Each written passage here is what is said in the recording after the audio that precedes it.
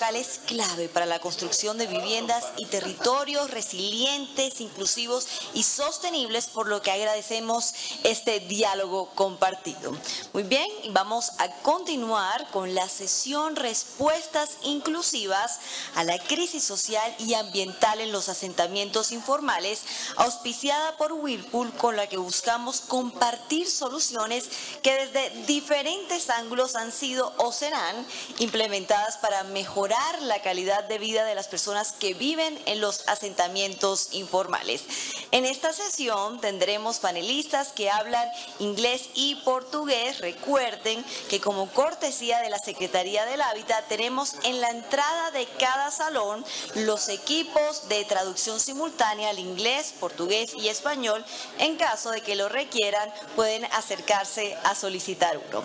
Al finalizar de cada sesión, agradecemos regresen esos dispositivos en la misma zona. Invitamos a los panelistas a subir al escenario, por favor, por la escalera a mi costado derecho y también le damos la bienvenida a nuestra moderadora, la señora Geraldine Gené, gerente senior de incidencia en hábitat para la humanidad en Latinoamérica y el Caribe. Ella es abogada costarricense con una especialidad en Derecho Internacional y Derechos Humanos. Ha trabajado los últimos siete años como consultora externa para ONGs internacionales y agencias de desarrollo en nuestra región, en África, Europa Central y del Este, en proyectos de desarrollo. Quiero recordarles que en el app del evento van a encontrar la función de chat para cada sesión y ahí pueden ingresar sus preguntas para los panelistas a quienes les damos la bienvenida. Vamos a recibirlos con un fuerte aplauso. Bienvenidos.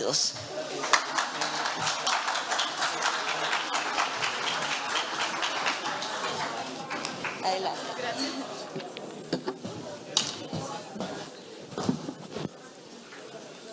¿Quién falta?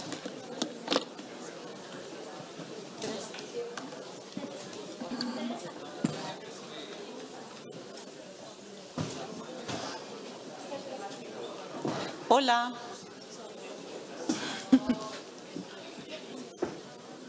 Hola, hola, muchas gracias. Es un gusto para nosotros estar acá hoy. Eh, voy a presentar a, a, mi equipo que nos va a acompañar esta mañana un ratito más. Eh, este, la idea de este panel es que demos respuesta a las, todas las interrogantes que se han ido presentando desde ayer, en los paneles de ayer, y básicamente queremos exponer ante ustedes eh, el estudio de impacto en los asentamientos informales al cual se refirió nuestro director eh, Ernesto Castro ayer. Eh, entonces voy a presentar a los panelistas para que luego cuando ellos les toque hablar pues hablen tranquilamente. Y eh, bueno, perdón, es que estaba con la agua. Um, bueno, entonces tenemos a Camila Cosiña. Camila es investigadora del Instituto Internacional del Ambiente y el Desarrollo. Es quien nos va a exponer el, el estudio en un ratito. Tenemos a Amanda Entriquín, que es nuestra directora eh, global de asuntos internacionales e incidencia de Hábitat para la Humanidad. Tenemos a Marcela Mondino, que es este, directora de programas de la Fundación Avina. Tenemos a Amy Coconauer, CEO de la Fundación Cadasta. Tenemos a Andrés Cruz, que es gerente de programas de DR3 para América Latina y el Caribe. Tenemos a Javier Vaquero, de la Caja de Vivienda Popular de la Alcaldía de Bogotá, eh, Teresa Williamson, que es de la Fundación mmm, Comunidades Catalizadoras, es directora ejecutiva y fundadora, y me va a ayudar con la, con la moderación Brenda Pérez, que es directora global de programas urbanos de Hábitat para la Humanidad. Entonces vamos a trabajar conjuntamente, Brenda y yo. La agenda de, esta, de este panel es, eh, primero vamos a darle la palabra a Camila, que tiene 10 minutos para contarnos sobre el estudio, y luego todos los demás panelistas van a hacer sus referencias acerca de cuál ha sido la respuesta que han tenido las diferentes organizaciones e instituciones acerca del programa. ¿No se escucha? Ok. Ok. ¿Así? ¿Ah, ok. Este, bueno, y luego los panelistas que van a dar respuesta entonces a lo que a, lo que al, a la presentación de Camila. Camila, por favor, tienes la palabra.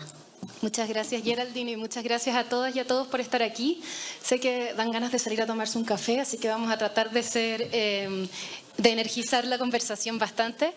Tengo una tarea muy difícil, que es presentar en 10 minutos un estudio complejo y que además es primera vez que presento en castellano, así que estoy como tratando de hacer usar la cabeza bilingüe aquí.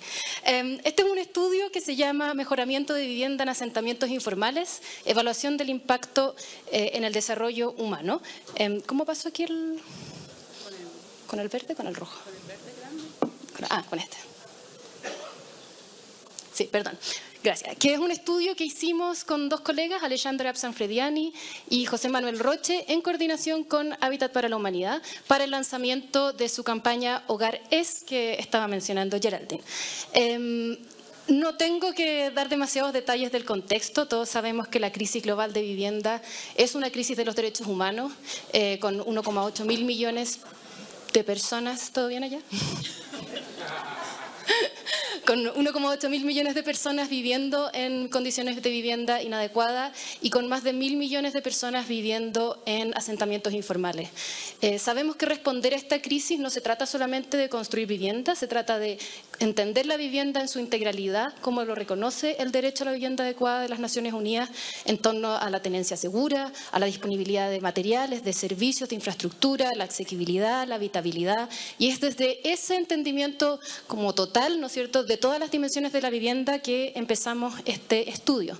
Ahora, si entendemos, entendiendo que el acceso a la vivienda adecuada es un derecho en sí mismo y que no, no debiésemos tener que discutir las razones de por qué es importante, eh, la tarea de este estudio es cuáles serían otros impactos significativos de asegurar el acceso equitativo a la vivienda adecuada en asentamientos informales y si se realizaran mejoras de vivienda a gran escala en un país, cuáles serían los impactos en los ingresos, en la salud y en la educación para aquellos que viven en asentamientos informales y para la sociedad en su conjunto.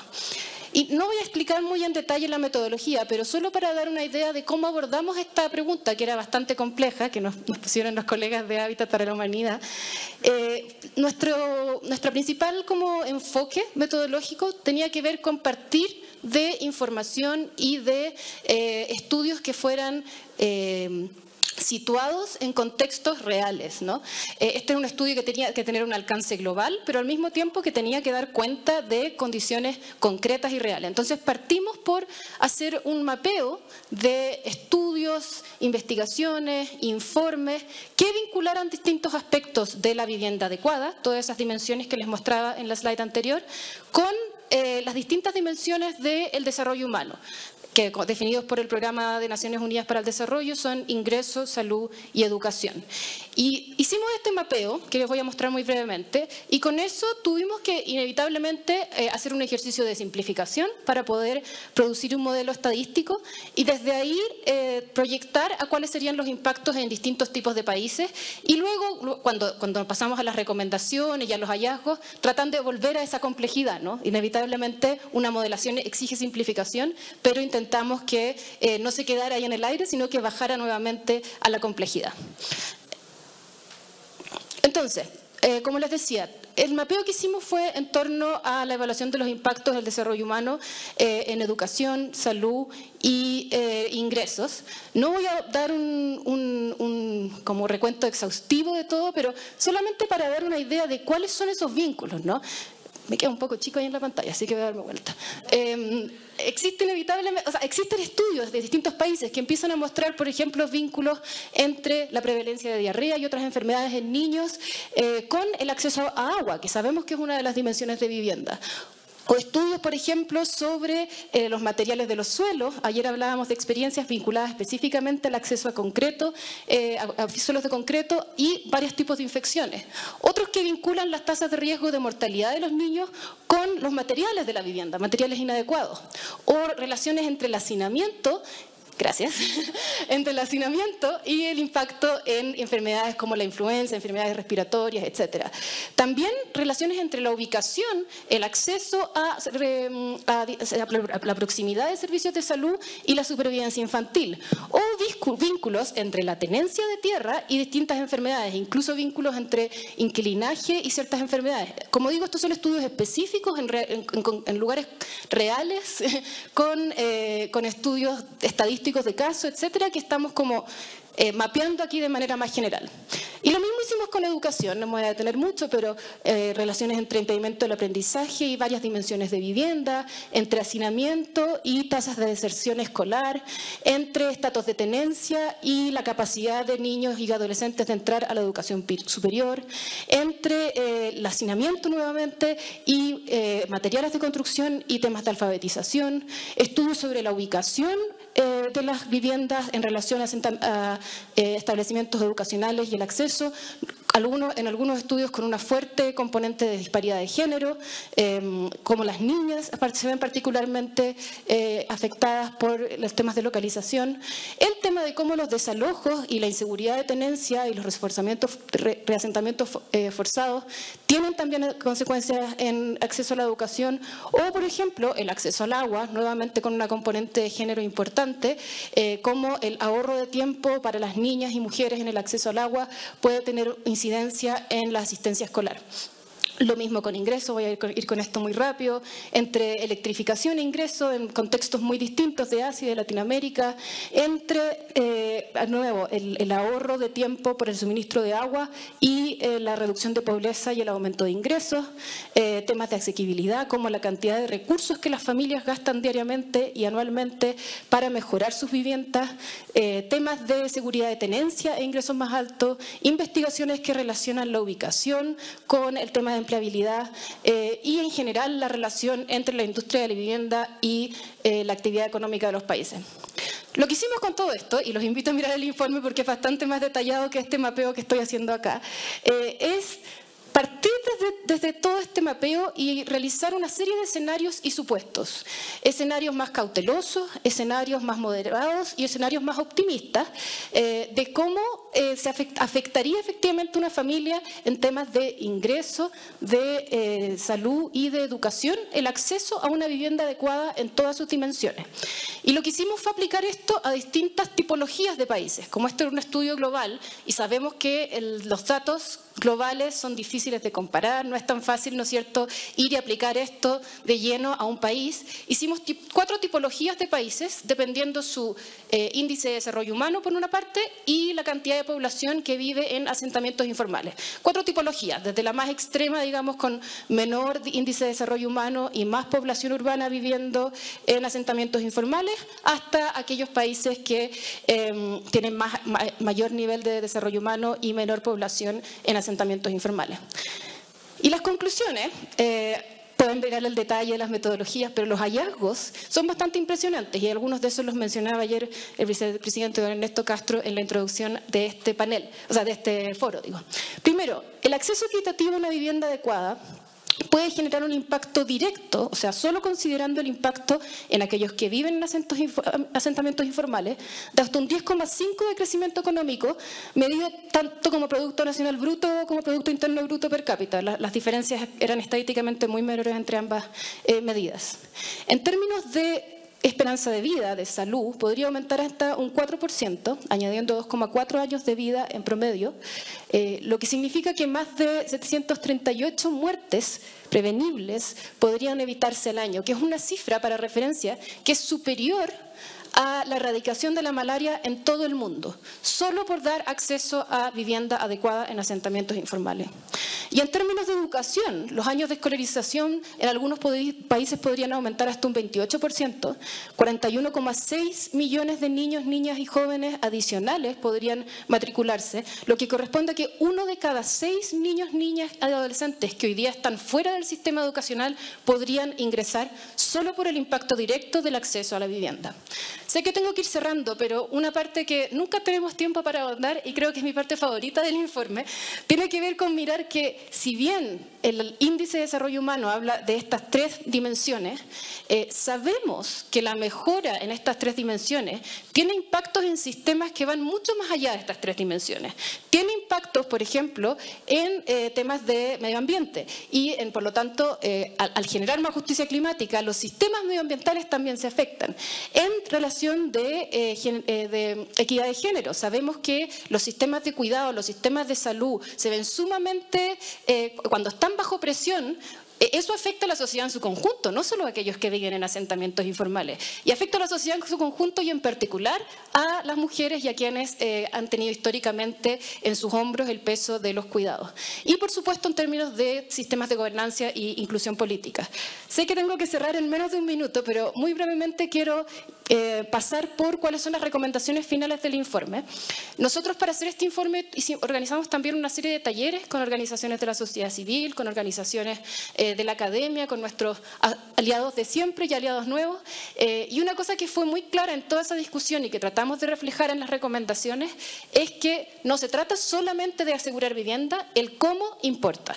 Y el cómo importa y hay, hay que reconocer los esfuerzos que están ocurriendo hoy día en los territorios para entender cómo ese cómo es situado, incluye a los gobiernos locales, pensando en el panel que acabamos de mirar, y no puede ser solamente una receta, ¿no es cierto?, que se replica en todos lados. Eh, las cuatro áreas de recomendaciones, una tiene que ver con dar prioridad a la vivienda como una infraestructura para un desarrollo humano equitativo. Y cuando alguien les dice, la vivienda no es prioridad en este programa de desarrollo, creemos que este informe puede servir para decir, pero ¿sabes qué? Con la vivienda no estás solamente hablando de vivienda, estamos hablando de desarrollo humano equitativo en todas estas dimensiones. El tema que les decía recién, que debe ser integrada y participativa para generar beneficios, eh, efectivamente estos retornos tienen que estar basados en la en, vinculación con comunidades y con aquellas organizaciones que están dando respuestas hoy día. Eh, usar esta, la vivienda como una palanca para el desarrollo internacional y espacios como este creo que eh, justamente avanzan en esa dirección. Y finalmente, el tema que, ha sido, que fue clave, ¿no es cierto?, en todo el desarrollo fue eh, el tema de la información, del conocimiento, de los datos, que sabemos que son escasos, sabemos que son diversos, pero hay que entender que existen hoy día esfuerzos locales para levantar datos y que tenemos que priorizar ese tipo de datos que son por, sobre y para las comunidades en asentamientos informales. Voy a terminar, les voy a dejar aquí lo del QR para, el QR para descargar el informe tanto en inglés como en español que se acaba de lanzar y nada, abrirla ahora como, este, como, como bien dijo Geraldine, es la idea como eh, el punto de entrada para empezar a escuchar las soluciones y las respuestas que están ocurriendo. Gracias, Geraldine.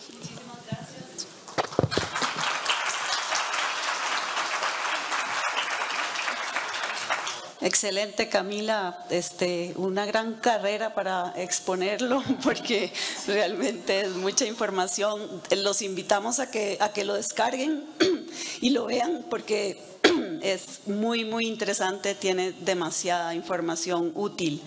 Este, bueno, ese informe fue eh, eh, un informe que solicitamos desde Hábitat para la Humanidad para fundamentar nuestra campaña global de incidencia hogares, a la cual se refirió don Ernesto ayer, y para empezar a hablar de estas soluciones que fuimos encontrando, que hemos ido encontrando, algunas se han ya eh, hecho, otras se harán en el transcurso de los próximos años.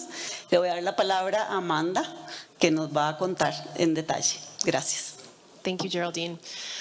Gracias Geraldine y gracias a todos. Es un placer estar acá con todos ustedes. Perdón, eh, no hablo español. Gracias a Housing para la humanidad por tenernos acá. El esfuerzo ha sido increíble. He aprendido muchísimo de los paneles, los discursos han sido importantes, asuntos todos muy importantes. Gracias por reunirnos acá.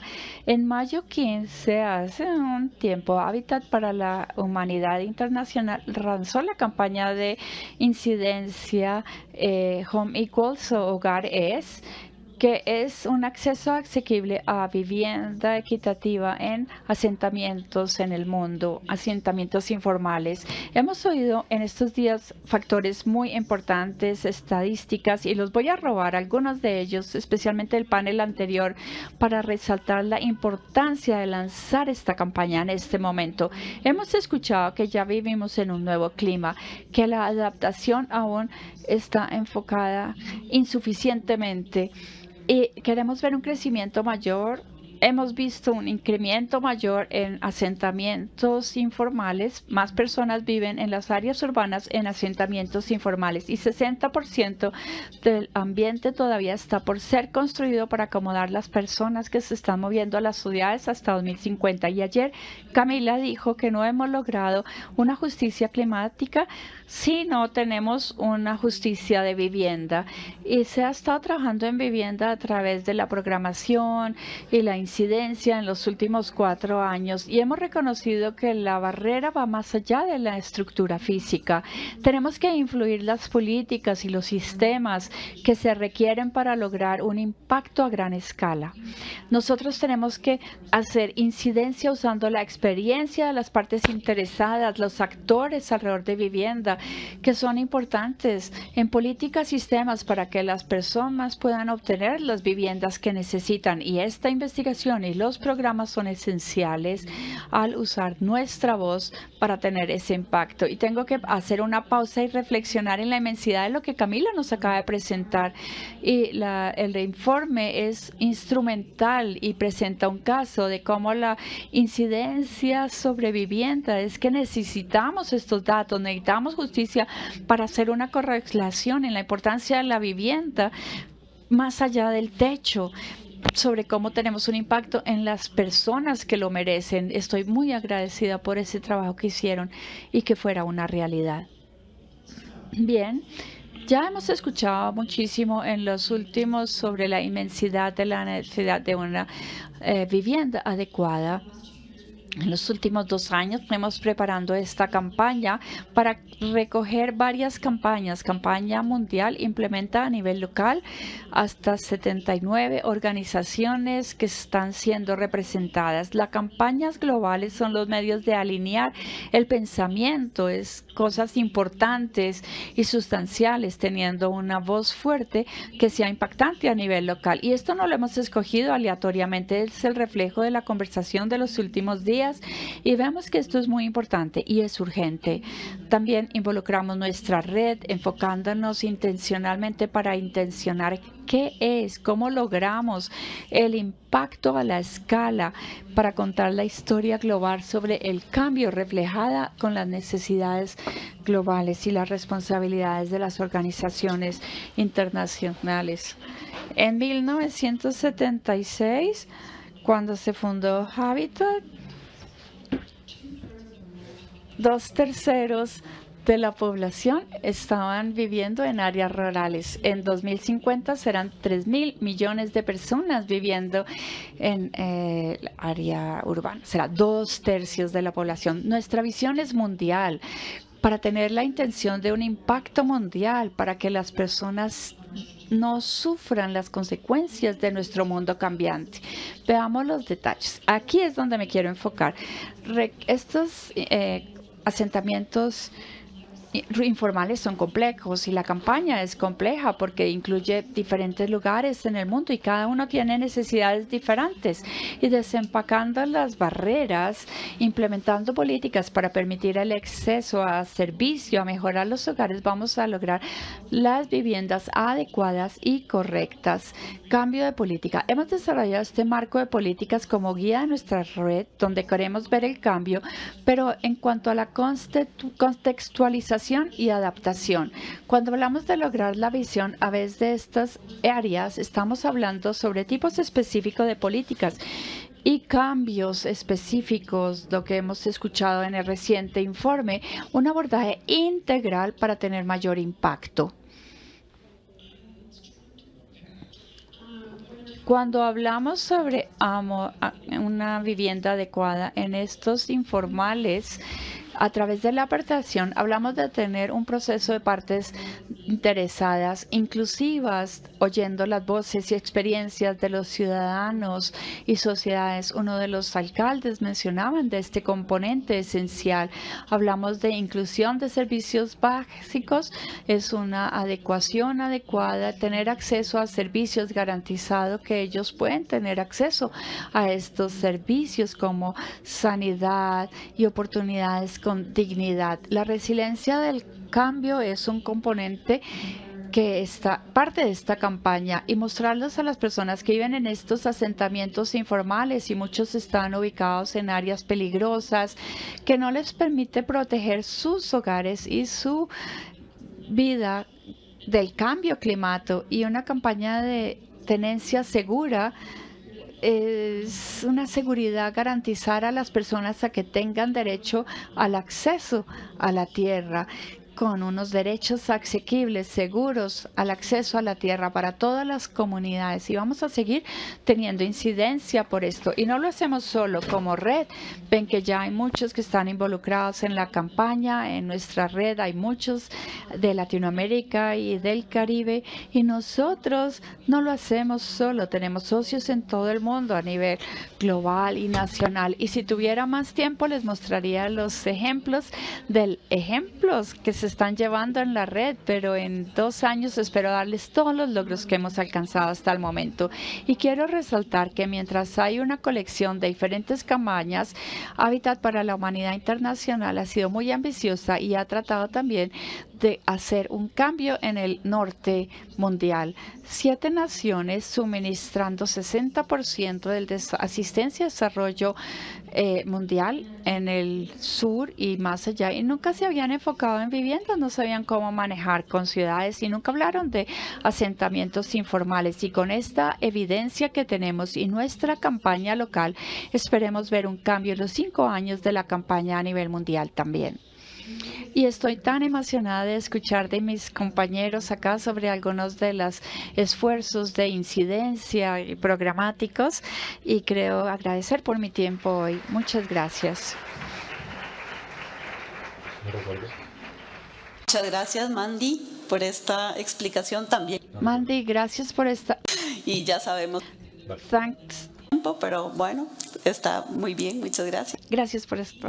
De ahora en adelante vamos a escuchar a partir de estas explicaciones, tanto de, de Camila sobre el estudio y de Amanda sobre lo que es la campaña global de incidencia, vamos a escuchar qué han hecho nuestros aliados y nosotros mismos en los diferentes subtemas que ya Mandy nos refirió.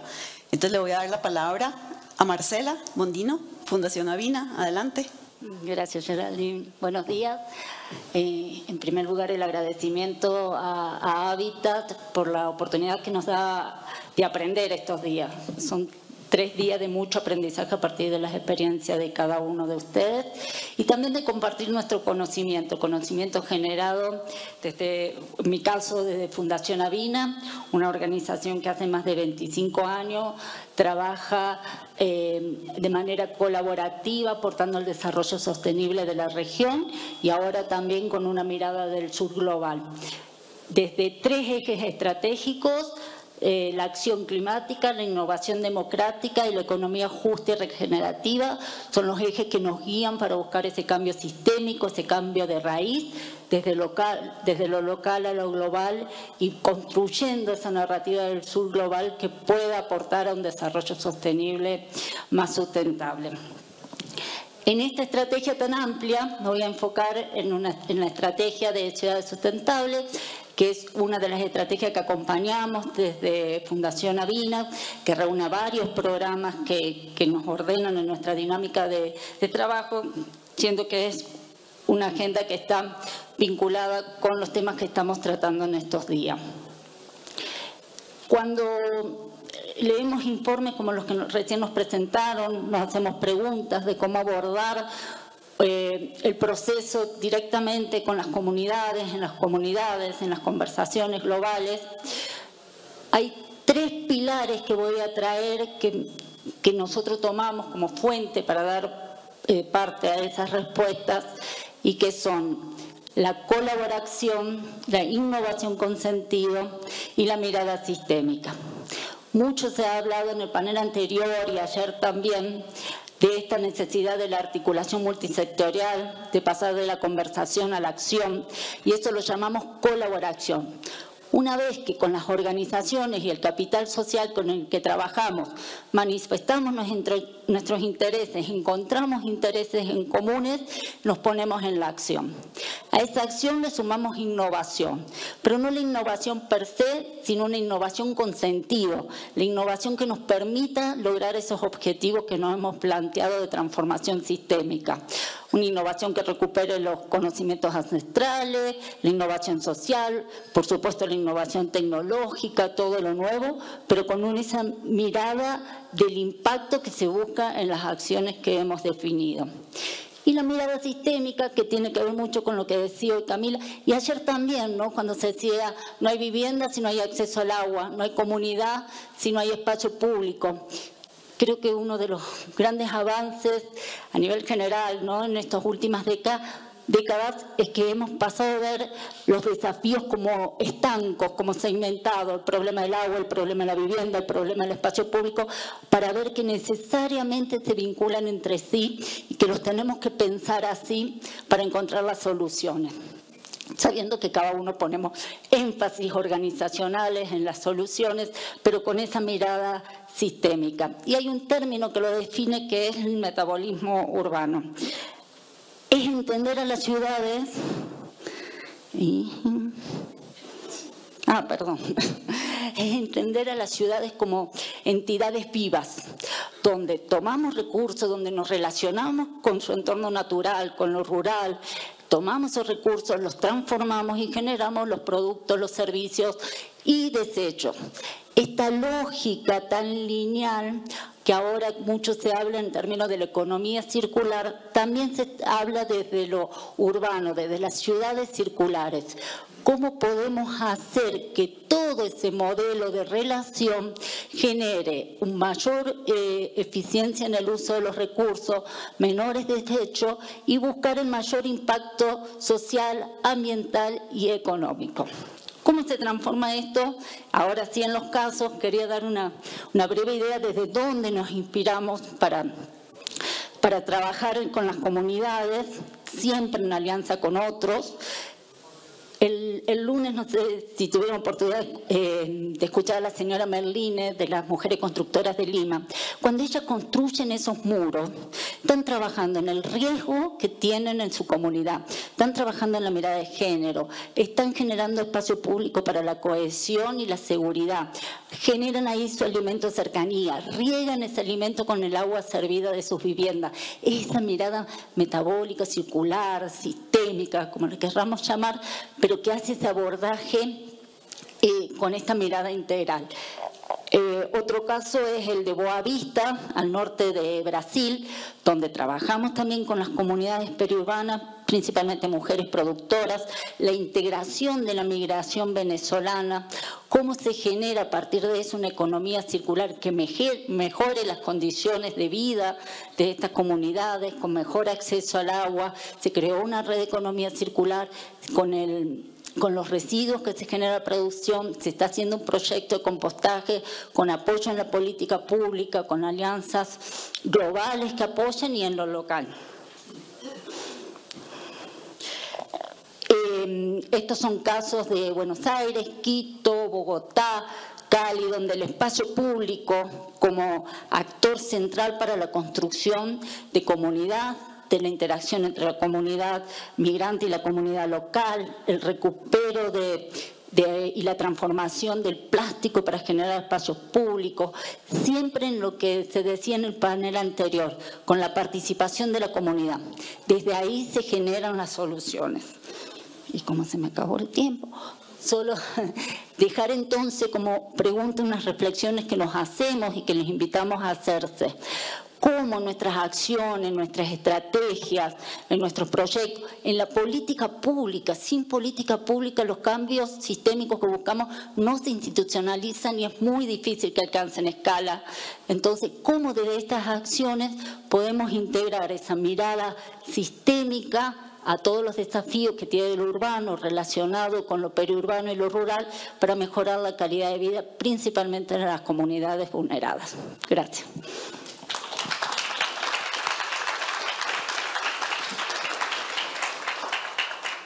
Gracias, muchas gracias Marcela, súper interesante. Fundación Avina, presente en América Latina, es, un gran aliado y, bueno, hace mil cosas, así que felicitaciones. Em, vamos a hablar con Amy Kochenauer de Fundación. Ah, perdón, perdón, perdón, perdón, me equivoqué. Teresa Williamson. Ajá. Ok. Teresa nos, nos va a hablar desde... ¿No tiene sonido? Esta función, creo que okay. Nos va a hablar desde sus experiencias como fundadora y, y directora ejecutiva de la organización, todo ese aporte de qué pasa en las comunidades. Es interesantísimo, no le quito más tiempo. Les recuerdo al público, por favor, que nos envíen sus preguntas por el chat. Las estamos recogiendo para hacerlas al final de las presentaciones. Adelante, Teresa. Gracias. Eh, yo voy a hablar en, en portuñol, entonces agradezco la paciencia eh, y también eh, al convite eh, a estar aquí con ustedes. Yo estoy aprendiendo muchas, muchas cosas. Eh, yo soy Teresa, soy de Brasil, de Río. Eh, trabajamos en nuestra organización, Comunidades Catalizadoras, trabaja con favelas a 23 años. Trabajamos profunda, de una forma profundamente, profundamente local, enraizada en los territorios. En Río hay más de eh, un millón, un millón y medio de personas viviendo en asentamientos informales, son favelas, yo voy a hablar de favelas porque en cada ciudad, en cada país, los asentamientos son únicos, son, son diferentes y tienen eh, eh, culturas, historias particulares. Yo creo que es muy importante comenzamos, comenzamos a hablar sobre asentamientos informales de formas más eh, eh, que, reconocen la singularidad de estos territorios, cada uno. Eh, voy a hablar un poco sobre nuestra organización, pero voy a enfocar más sobre, ah, gracias, sobre algunas cosas metodológicas que creo que trabajando en la base puede contribuir con los debates más amplios. Eh, entonces, nuestra organización actúa 23 años. Eh, tenemos, eh, todos los proyectos son co-creados con centenas de liderazgos de favelas. Ya trabajamos con más de 300 comunidades y actualmente actuamos en tres dimensiones. Una es la narrativa de los territorios porque el estigma, el mal conocimiento del público, de la sociedad, del mundo sobre estos asentamientos es una barrera muy grande para comprender y, realmente eh, eh, desarrollar los territorios. El segundo es el propio desarrollo y nuestro desarrollo por CONCACH es a través de proyectos de base eh, por la red de favelas sostenibles. Es una red en Río con más de 400 proyectos en favelas, en más de 100 favelas, que actúan con todo desde paneles solares y, y tellado de teto verde a museos comunitarios, proyectos de educación social, trabajo con mujeres. Y es una grande red de liderazgos que actúan para mejorar sus territorios y por cuando hay las mejorías, sean por la acción comunitaria o la acción del Estado, eh, tiene que tener, eh, eh, garantía de seguridad de permanencia y esto no necesariamente es ideal por el título individual. En ciudades como Río, con un solo muy valorizado, a veces comunidades no quieren el título individual porque va a traer el mercado que va a a, llevar para un proceso de gentrificación y el objetivo real de las personas es permanecer, eh, no vender. Eh, porque son comunidades, en el caso de Río, muchas son muy consolidadas, son históricas. Río tiene favelas a más de 125 años, eh, la mayoría de las favelas de Río tienen más de 50 años de existencia. Hay 27 museos en favelas en Río de Janeiro. Entonces hay una historia ahí que no es contada, no es conocida y eh, es importante esta comprensión de bases. nuestros tres proyectos que trabajan la narrativa, eh, Rio Watch es portugués e inglés en sitio de noticias de favelas por comunicadores populares a 13 años, nació en el periodo preolímpico. La red de favelas sostenibles, hay un mapa donde puede ver todos los proyectos y el termo territorio colectivo que es esta eh, herramienta de, eh, de, regularización fundiaria, donde el solo es colectivo y las habitaciones son individuales. En inglés es Community Land Trust. En español el modelo que conocemos es el fideicomiso de la tierra de Puerto Rico. Y estamos a cinco años intentando construir eso en Río. Eh, todo nuestro abordaje como, eh, ah, abordaje no, hacer, acercarse, ¿correcto? No sé. abordaje, ok. Ah, es basada en activos de los territorios, las calidades de los territorios. Es muy diferente de la forma que pensamos tradicionalmente, de pensar solamente a partir de los problemas, de los desafíos. Río es una ciudad eh, el marcada pela historia racial y, de esclavitud en Brasil. Eh, eso se puede ver en el mapa territorial de las favelas. Eh, son asentamientos populares, mayoritariamente negros, eh, y que construyen la cultura local, aquí algunas imágenes, imágenes de estos activos, de las potencias que son construidas en el local. Aquí ya son proyectos construidos colectivamente en la área ambiental por la red de favelas sostenibles. Eh, yo puedo hablar sobre cualquier uno de estos después. Este slide estaba más interactivo en la presentación del Google, pero básicamente lo que quiero traer aquí es una provocación que favelas, asentamientos informales no deben más ser considerados el problema deben ser considerados una solución dada por la población para la desigualdad estructural que es el real problema. Entonces, cualquier solución tiene que no eh, ampliar esta desigualdad estructural. Entonces, tenemos que tener mucho cuidado para no desconstruir los, las cualidades, calidades construidas en los asentamientos informales con el desarrollo que viene. Aquí es solamente una provocación porque el Valparaíso, Santorini, muchos sitios eh, de UNESCO fueron asentamientos informales en el comienzo, inclusive las ciudades fueron construidas informalmente hasta 200, 300 años atrás en su mayoría. Entonces esta idea de que hasta eh, la, mayoría de los asentamientos serán informales. Esto es, la verdad, la historia de la humanidad. Es la forma orgánica que las personas construyen cuando llegan a algún lugar con los materiales, las manos, las propias manos, lo que es posible. Eh, entonces voy a dejar esos slides para después, si quieren ver algunas calidades que nosotros intentamos comprender yo como planificadora, eh, respecto mucho a esas calidades que ya están desarrolladas naturalmente en las favelas. Y por final, otra provocación, la cuestión de valores, de cómo valorizamos las cosas. Esto es simplemente algunas métodos de entender las necesidades básicas humanas por Abraham Maslow, el psicólogo. Eh, y tenemos el shelter, eh, la, moradía, la vivienda, como la base fisiológica.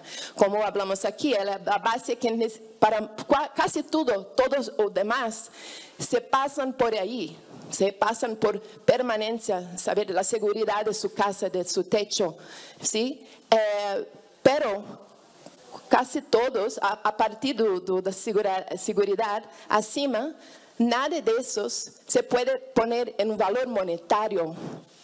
No, tienes muchos valores, necesidades que no son monetarizadas.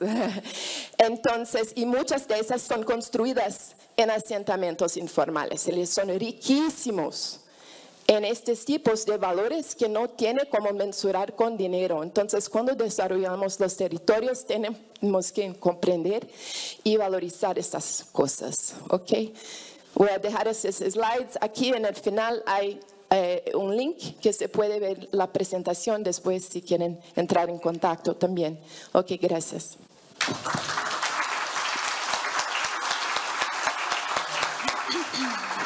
Muchas gracias, muchas gracias Teresa. Este, bueno, ya me, parece muy interesante esa, esa eh, visión diferente de los asentamientos informales. Eh, muchas gracias por ese aporte especial. Y ahora sí, eh, le voy a dar la palabra a Amy. Amy, eh, como CEO de, Fundación Cadasta, eh, bueno, nos va a contar muchas actividades que tienen como socios nuestros también y con ese subtema eh, importante de la campaña que es la, la, tenencia segura. Este, por favor sigan mandando preguntas, aunque no estamos seguros de que haya tiempo al final para responderlas. Si no hay tiempo, las responderemos por escrito. Gracias. Adelante, Amy. Teresa, me inspiraste, así que voy a tratar de hablar en español también. Bueno, es que Ah, bueno, yo soy Amy, ah, la presidenta de Cadasta. Cadasta es un ah, somos un líder global con una plataforma de tecnología de sistemas SIC y de servicios ah, sobre la tierra y los derechos de tierra. Y nosotros nos enfocamos en cómo empoderar las comunidades vulnerables para mapear, documentar y asegurar los derechos de propiedad, de tenencia, de recursos también, en una manera inclusive y inclusive inclusiva y equitativa. Bueno, entonces, para darles una idea de, nuestro trabajo a nivel global, esta pantalla de datos ah, da la información de que con 100, más de 100 ah, socios, 103 socios, hemos documentado los derechos de 6,6, más de 6,6 millones de personas en 4.454 comunidades en 47 países. Eso, eso incluye más de 21, 21 mm, millones de hectáreas de tierra. Entonces, para darles un poco la idea de, de la escala de nosotros, pero yo quiero hablar de dos cosas hoy, la, seguridad de tenencia y también la importancia de los datos. Vamos, eh, la seguridad de tenencia sin derecho de suelo, eh, eh, propiedad de suelo, todos esos avances que hemos hablado en estos dos días, en la educación, la salud, los ingresos, ah, la infraestructura, todo eso se pone en peligro si no hay seguridad de tenencia.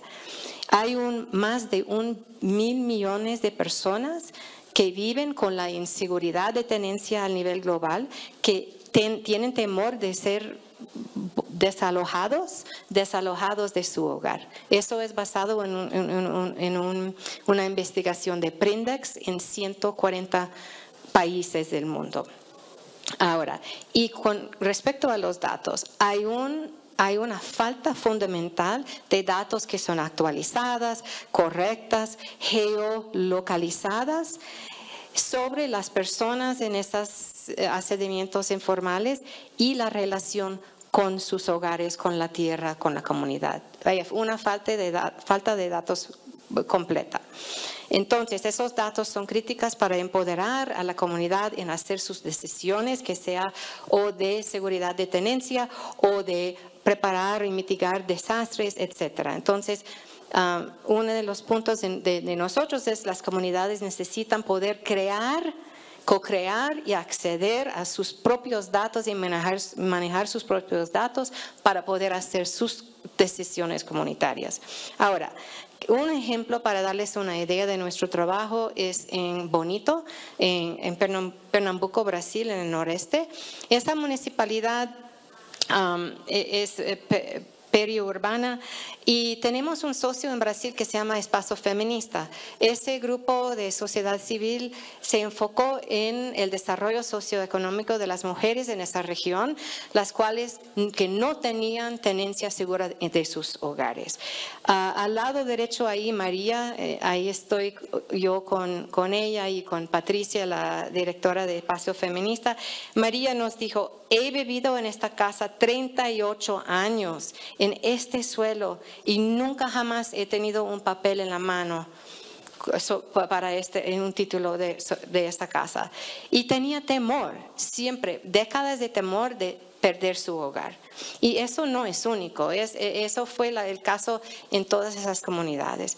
Entonces, ¿qué hicimos nosotros? Nosotros eh, nos eh, juntamos con Espacio Feminista, con la municipalidad, para ofrecer la tecnología, la plataforma SIG, capacitación a los jóvenes de la municipalidad, ellas, la de lentes, Miña Casa Ilegal, y ¿Y ¿qué, qué, fue el resultado de eso? Porque no tengo mucho tiempo para practicar. Primero, una barrera fue eh, recolección de datos hogar a hogar, tardó dos meses para cada hogar con, con, con métodos de papel, eh, la información geoespacial y de la, de la casa.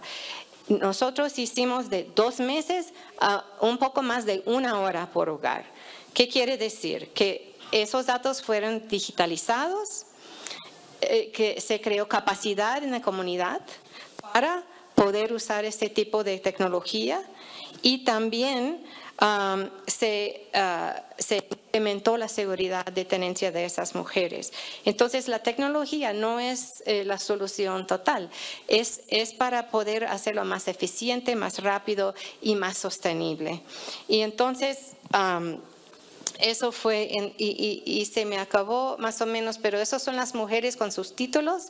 Un, un punto para destacar es que 8, 8, 8 85% de esos títulos que se fueron otorgados fueron en nombre de mujer en nombre de mujer. Eso es una estadística súper alta porque es difícil de que las mujeres consigan sus nombres en esos, en esos títulos. Y esos son los mapeadores locales, los jóvenes. Solo quiero añadir uh, unos puntos de los datos. Eso es una colaboración que tenemos con Habitat, uh, um, uh, por la Humanidad en América Latina.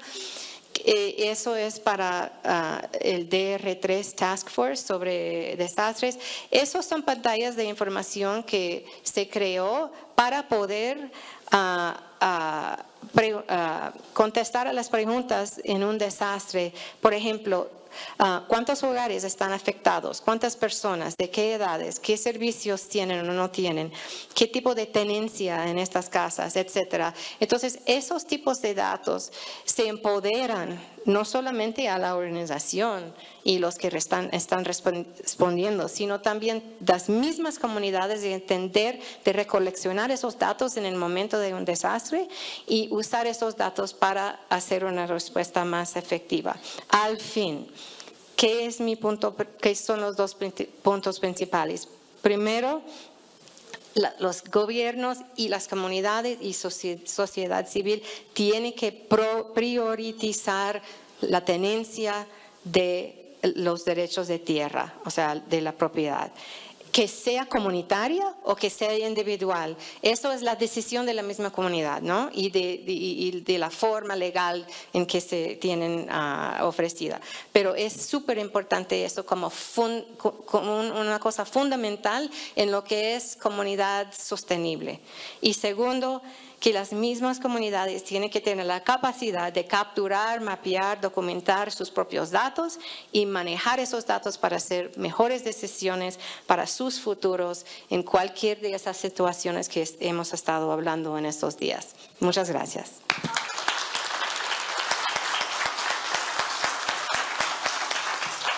Muchas gracias, muchas gracias Amy. Este, vamos a darle la palabra a Andrés. Andrés nos va a hablar sobre esa parte de la crisis climática y cómo Hábitat para la Humanidad eh, trabaja en, respuesta y otros. Adelante, Andrés. Gracias, Geraldine. Eh, buenos días para todos. Bueno, eh, como todos sabemos, Latinoamérica, es la segunda, Latinoamérica y el Caribe es la segunda región del mundo más propensa a los desastres. Y, como lo hemos venido hablando en estos dos días, un porcentaje muy alto de las comunidades vulnerables viven en asentamientos informales sin acceso adecuado a servicios básicos o nulo. Esto aumenta la vulnerabilidad de ellos y en, esencial, en, en, especial los niños, niñas, mujeres y adultos mayores. El cambio climático solamente está intensificando estas vulnerabilidades y esta exposición a los riesgos. Por esa razón, desde Hábitat para la Humanidad, alineados con el marco de Sendai, estamos diseñando en unas iniciativas innovadoras para prevenir y mitigar, teniendo en cuenta que una medida de mitigación y prevención puede costar un dólar, pero en el momento que nos toque responder a un desastre, esa respuesta puede estar entre 8 y 10 dólares. Entonces, eh, de acuerdo a eso, hemos querido diseñar una estrategia para la respuesta a desastres que vaya alineada con el cambio climático. Está, está enfocada en cuatro pilares, donde tenemos el fortalecimiento de capacidades locales, donde vamos, porque la gente, entre más entienda cuáles son sus riesgos, qué vulnerabilidades tiene, más fácil puede prevenir y soportar un impacto de este tipo de desastres. La gestión de riesgos climáticos va acompañando eso y aparte tenemos eh, la capacitación con PASA, que es el enfoque participativo para sensibilización sobre alojamientos seguros, donde con esto le estamos dando el conocimiento a las comunidades, pero al mismo tiempo les estamos dando una voz para que ellos mismos, desde su conocimiento ancestral que tienen por haber vivido las emergencias en repetidas ocasiones, ellos mismos saben que se necesita. Entonces con esto les damos una voz para poder dar soluciones acompañadas técnicamente desde el lado de nosotros. La tercera parte es lo que llamamos el modelo resiliente, que es con pequeñas acciones generar grandes impactos. Esto lo manejamos en las líneas estructurales, arquitectónicas, de agua y saneamiento y de electricidad. Entonces, por ejemplo, manejar en los diseños de las viviendas adecuaciones que fomenten la ventilación natural, la iluminación natural. Eso va a reducir los consumos eléctricos. Por ende, estamos reduciendo la huella de carbono. Cuando hacemos reparaciones, reconstrucciones o vivienda nueva, utilizar materiales innovadores. Por lo menos ya ahorita en Costa Rica estamos trabajando con la resina 8, donde estamos reciclando el plástico y utilizándolo como agregado para que sea un material constructivo que cumpla las normativas. Eh, para el Caribe queremos utilizar paneles solares con unas baterías portátiles que sean desmontables para reducir el consumo eléctrico y generar resiliencia y lo mismo tanques de agua colapsables para tener recolección de aguas lluvias, sistemas de almacenamiento y purificación y poderlos utilizar. Entonces, esto va enfocado al cambio climático, pero también es muy importante porque por lo menos en el caso del Caribe, cuando pasa un huracán, generalmente las alertas tempranas nos, dan la noticia cinco días antes. Estos sistemas están siendo diseñados portátiles para que las familias puedan desmontarlas, colocarlas seguras en sus viviendas y luego de que pasa el evento, de que pasa la tormenta o el huracán, pueden sacarlos y con eso garantizar el acceso a los servicios básicos teniendo electricidad y agua en su vivienda y generando resiliencia desde la raíz, desde la vivienda, con modelos replicables que pueden ser ampliados a escala y de esta manera generar comunidades más grandes, resilientes y eh, enfocadas en la gestión del riesgo y el cambio climático. Como última parte, eh, que era la parte que estabas mencionando de, de Cadasta, obviamente todos los desastres pasan y no podemos garantizar que las familias no sean afectadas. Entonces, junto con Cadasta, estamos diseñando, que ya vamos a comenzar a implementar, una herramienta que nos va a dar un diagnóstico rápido para poder saber cuáles son las afectaciones de las viviendas en infraestructura, eh, en la parte estructural, agua y saneamiento. Todo esto para qué? Para nosotros tener el mapeo de cómo tenemos que reconstruir y reconstruir con los principios del modelo resiliente para que estas cosas no sigan pasando y de esta manera nosotros queremos reducir la huella de carbono tanto en el sector de la vivienda como aumentar la resiliencia en las comunidades vulnerables.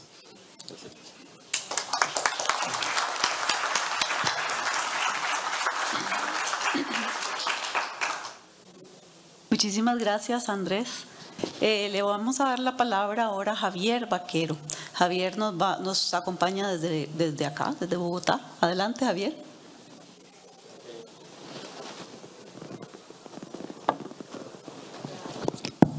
Gracias. Hola, buenos días. Bueno, desde la Caja de Vivienda Popular y la Secretaría del Hábitat les damos también la bienvenida a todos a Bogotá. Les voy a comentar un poco qué es lo que nosotros particularmente desde la Caja Vivienda Popular nos dedicamos exclusivamente a este asunto. Somos una entidad de más de 600 personas que trabajamos precisamente por los barrios populares. Entonces les vamos a contar un poco dos de las cosas que hacemos particularmente ahí. Lo primero es reconocer en dónde nos encontramos y cuál es la particularidad de Bogotá. Nosotros reconocemos dos aspectos. Uno, como los temas urbanos, porque nosotros queremos que la vivienda es fundamental, pero también es fundamental la ciudad. ¿sí? O sea, la ciudad en la cual está construida la vivienda, los entornos, los barrios. Entonces, uno de los elementos importantes es el espacio público. Nosotros identificamos que pues un estándar adecuado sería que por lo menos existieran 6 metros cuadrados por habitante de espacio público, pero la realidad es que en Bogotá, pues estos estándares no se cumplen en la mayoría de las áreas de la ciudad, porque estamos abajo de los 3 metros cuadrados. Y por otro lado también los equipamientos, escuelas, colegios, centros de salud, pues si tampoco hay una cantidad construida de estos equipamientos, la vivienda o los habitantes de estas viviendas tampoco tienen las condiciones para tener una calidad de vida. Y también en Bogotá identificamos que nosotros tenemos pues, un estándar que no es el adecuado a este momento, que tenemos que trabajar por eso, porque lo ideal es que por lo menos estuvieran 3.6 metros cuadrados por habitante y pues estamos en menos de 2. Lo segundo es la vivienda en sí, o sea, particularmente la vivienda, nosotros como la alcaldesa lo presentaba, hemos diferenciado en la ciudad cuáles son las necesidades de vivienda. Lo primero es reconocer que sí hay un déficit cuantitativo, que particularmente está el 3.8, pero en gran medida hay un déficit cualitativo. ¿sí? O sea, la calidad de la vivienda, que es el 10.14% de esas 353 mil viviendas que requerirían o hogares que requerirían, digamos, una vivienda adecuada. En gran medida en la ciudad urbana tenemos resuelto el problema de servicios públicos. En la ciudad rural sí tenemos otros problemas. Uno es que, como lo decía la alcaldesa, en Bogotá no se había invertido en vivienda nueva rural en ningún momento. Nosotros empezamos identificando este déficit habitacional en la ruralidad, empezamos a construir viviendas nuevas que requerían construirse completamente de ceros y también pues hemos venido haciendo mejoramientos a las viviendas que se encontraban en buenas condiciones. Pero ahí tenemos un reto sobre las viviendas eh, que son los servicios públicos y que hemos venido trabajando en el fortalecimiento de los acueductos comunitarios sobre el acceso al agua, pero ahí tenemos un reto sobre los alcantarillados.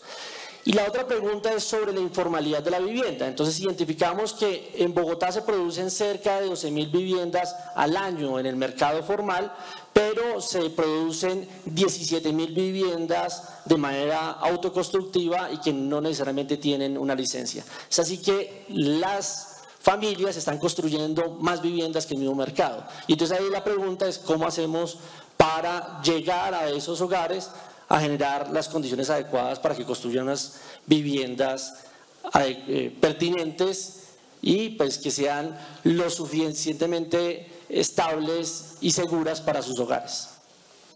Nosotros hicimos un ejercicio, tenemos un análisis de la ciudad sobre cuáles son estos territorios y tenemos también identificados unos que no se ha podido hacer nada aún y tenemos que legalizarlos, que son esas 273 hectáreas. Otros que ya se han hecho cosas, pero que aún nos falta eh, acabar, que son 2.800 hectáreas. Y hay otros en los que realmente nos toca trabajar muchísimo en estas áreas que ya están legalizadas, pero que tenemos que hacer bastante mejoramiento, que son 3.800 hectáreas. Las tenemos identificadas, mapeadas y con base en esto hemos construido un plan de mejoramiento integral de estos territorios, en donde tenemos claro en qué momento vamos a irlos interviniendo y hacerlo de manera integral el, digamos, como el programa concreto de mejoramiento de barrios, que lo hacemos entre la Secretaría del Hábitat y la Caja de Vivienda Popular, es mejorar integralmente los barrios. Lo hacemos de manera conjunta con varias entidades, no solo la Caja de Vivienda Popular, no solo la Secretaría del Hábitat, sino con todas las entidades. entidades que se encargan de los equipamientos, las que se encargan de los, eh, el espacio público. Nosotros particularmente lo primero que hacemos es legalizar estos barrios.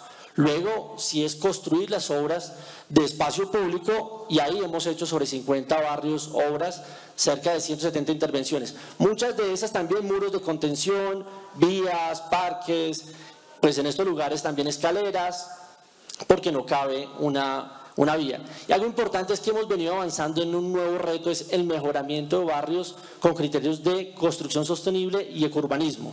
Y ya llevamos ocho ecobarrios que estamos implementando en donde las acciones que hacemos son también sostenibles. Paneles solares, ahorro de agua, pues estrategias de gestión de residuos que permiten que, pues esto sería lo ideal que lo pudiéramos hacer ya en todos los barrios. A hoy llevamos ocho desde esta metodología. La otro elemento importante es la movilidad. Hemos venido trabajando en lograr sistemas de movilidad para estos territorios y particularmente construido cables pues, a las montañas de la ciudad, pero que no sean solo el cable el que llegue a ese territorio, sino que sea el cable con espacio público, con equipamientos, manzanas del cuidado y obviamente la vivienda.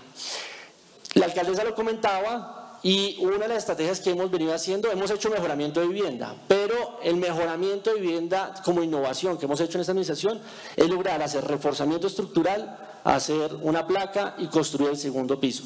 Eso partiendo de que nosotros mismos hacemos el reforzamiento, hacemos los diseños, sacamos la licencia, yo directamente firmo las licencias y luego construyo las viviendas.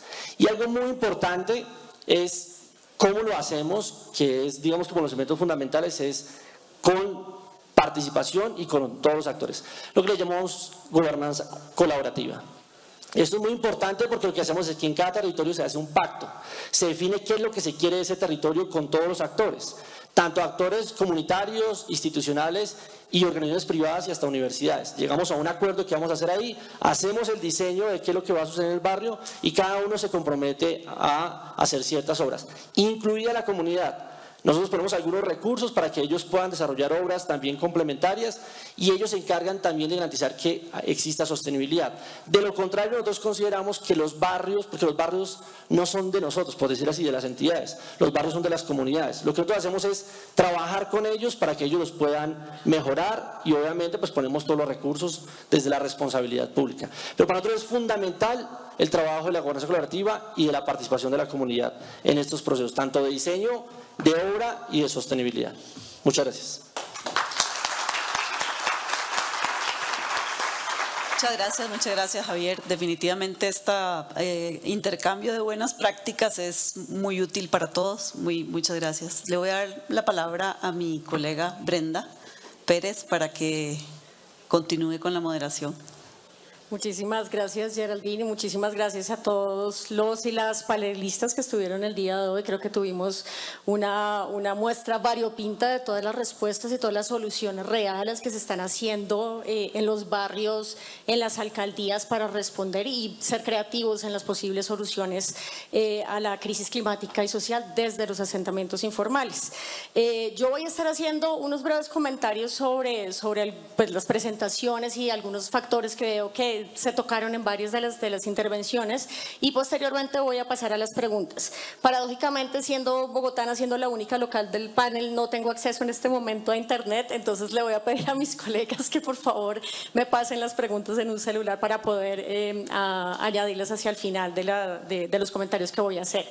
Em, bueno, eh, lo primero que quisiera anotar es que creo que eh, la intervención de Camila nos dio un marco muy general, una sombrilla bajo la cual nosotros podemos entender hacia dónde se están moviendo el tipo de intervenciones en asentamientos informales para que sean realmente para que sean realmente integrales, para que sean, em, para que sean eh, multisectoriales, para que realmente participe la comunidad y se apropie de las, de las respuestas posibles.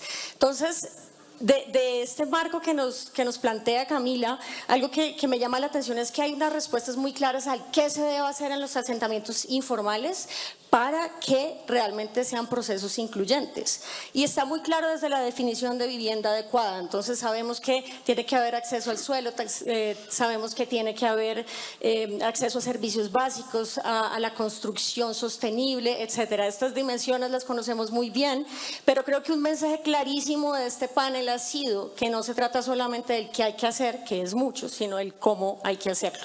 Y quiero relevar eh, algunos de esos elementos, cada, uno de esos elementos que me llamaron la, la atención particularmente. Un primer punto muy claro de cómo se deben hacer las cosas es entendiendo qué está pasando en los asentamientos informales. Y esto creo que es algo que venimos diciendo desde los años 70, pero que ha sido muy difícil ponerlo en práctica, que se han generado metodologías de muchas maneras desde las alcaldías, desde las comunidades para conocer la información, para saber qué pasa en los asentamientos, cómo crecen, por qué crecen de la manera en que crecen.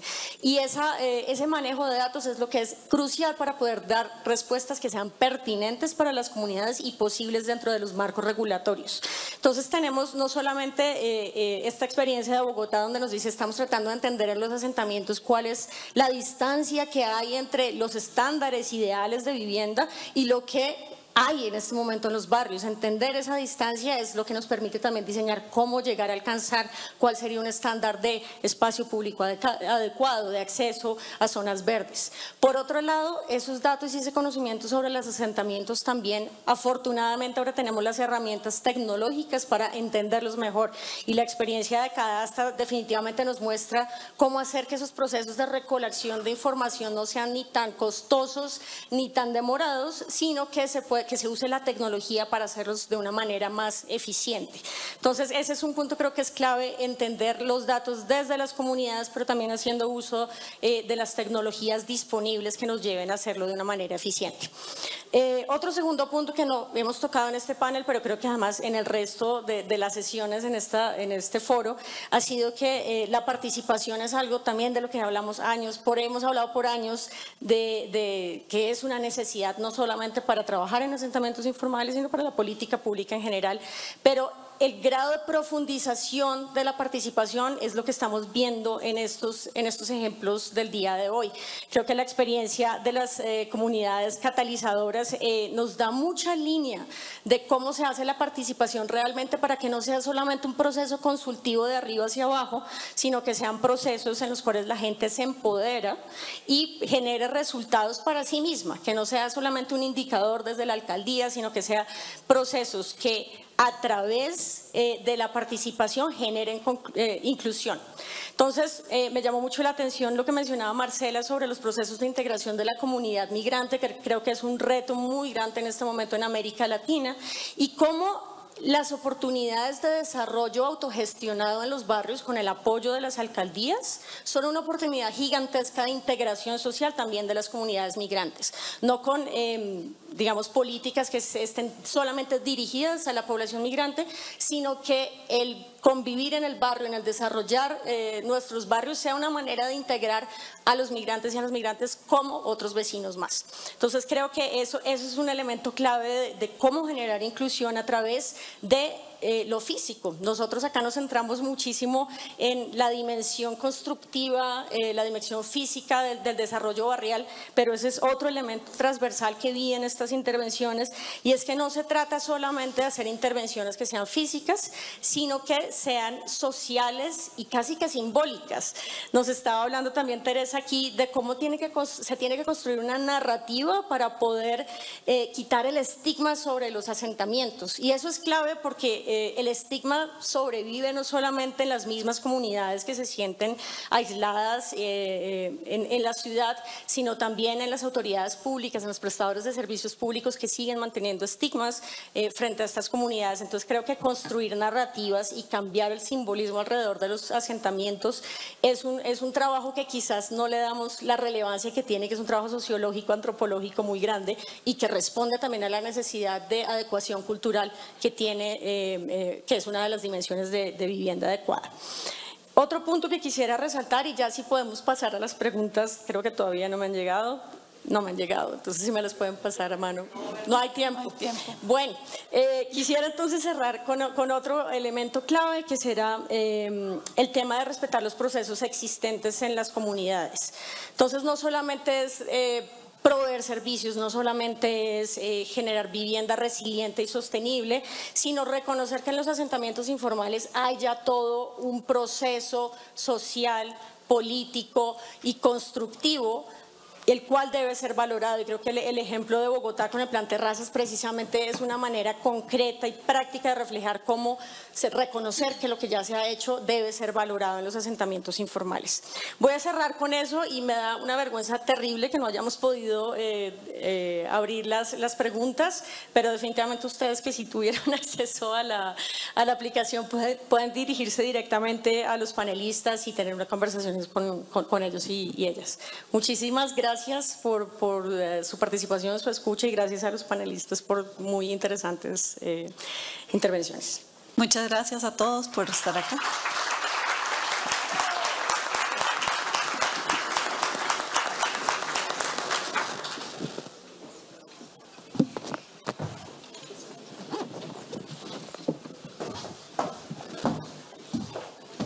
Agradecemos a nuestra moderadora y a nuestros panelistas y los invitamos por favor bajar de la tarima de este lado por favor para la toma oficial de la fotografía del evento. Y es momento de disfrutar del Happening Trivia del Agua que se realizará en el área de stands y este espacio está a cargo de Hábitat para la Humanidad, Paraguay, Brasil y Bolivia. El gran ganador de la trivia se llevará una canasta con productos de Paraguay, Brasil y Bolivia. A su vez, en el área de stands podremos compartir del Coffee Break cortesía del Ministerio de Vivienda, Ciudad y Territorio de Colombia. Al finalizar pasaremos a las sesiones paralelas, las voy a nombrar. Salón Rojo, este salón política de inversión multiactor y multinivel hacia la promoción de viviendas y comunidades resilientes e inclusivas.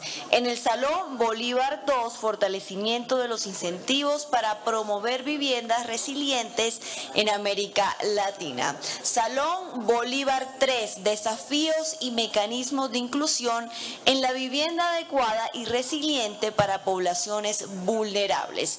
Salón Esmeralda, VILAP, inversiones de impacto en asentamientos informales y recuerden que toda esta información la pueden encontrar en detalle en el app del evento, Event Tool y después de las sesiones paralelas recuerden que podrán disfrutar de un lunchbox cortesía del Ministerio de Vivienda, Ciudad y Territorio de Colombia.